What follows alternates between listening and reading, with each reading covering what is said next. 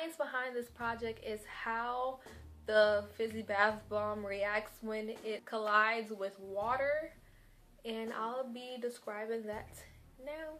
For this project you'll need borax, baking soda, cornstarch, Epsom salt, some type of oil. I chose olive oil. Um, apple cinnamon as my fragrance oil.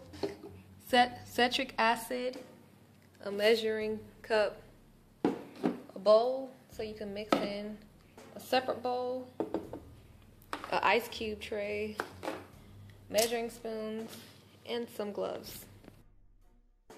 First you start off by putting on your gloves. Then you take one cup of baking soda and then pour it into the bowl. Then you take a half a cup of citric acid and pour it into the bowl with the baking soda. Then you take a half a cup of cornstarch and pour it in the bowl with the baking soda and citric acid.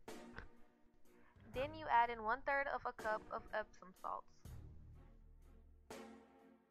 Make sure you mix the baking soda, citric acid, cornstarch, and Epsom salts well, then set it aside. Then you take a quarter of a teaspoon of borax and put it in a separate bowl.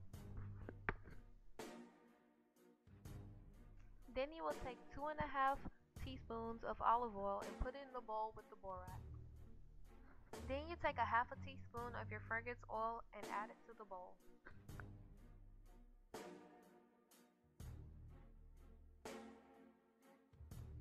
Then I took 3 fourths of a tablespoon of water and added it to the bowl as well.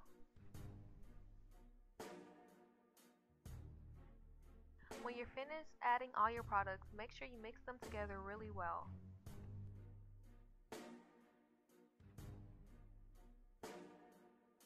Slowly add the liquid mixture to the dry mixture, but stir continuously and quickly.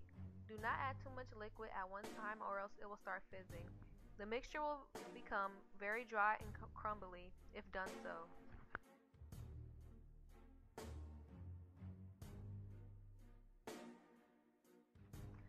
The mixture into molds or ice cube trays.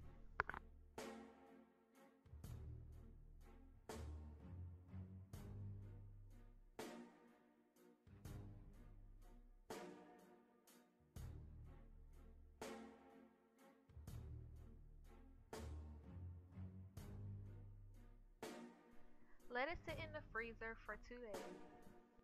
After two days, remove the fizzy bath bombs from the freezer. The reason the bath bomb reacted like that is because it is combined with citric acid and baking soda and the dry materials will not cause a chemical reaction. But however, when it's added in water, the mixture will start to produce carbon dioxide bubbles.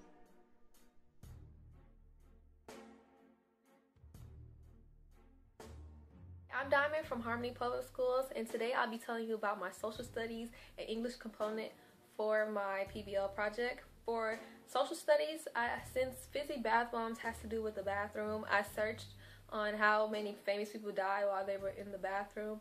And for English, I just wrote a fictional story about fizzy bath bombs. Thank you for watching Harmony Public